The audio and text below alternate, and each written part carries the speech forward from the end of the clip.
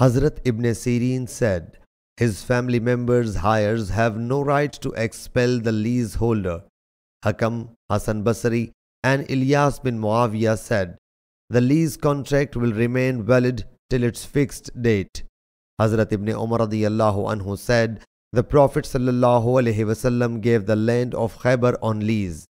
The thing remained same in the Prophet times and during the reign of Hazrat Abu Bakr anhu and during the preliminary period of the reign of Hazrat Umar anhu and no one mentioned that after the demise of the Prophet wasallam, Hazrat Abu Bakr anhu and Hazrat Umar anhu renewed the lease contract. Hazrat Abdullah bin Umar anhu reports Allah's Apostle wasallam gave them, the Jews, the land of Khaybar to work thereon and to cultivate and the half of the yield will be theirs. Hazrat Ibn Umar anhu told them that the land was given on rent. Nafi mentioned the amount, but I forgot it.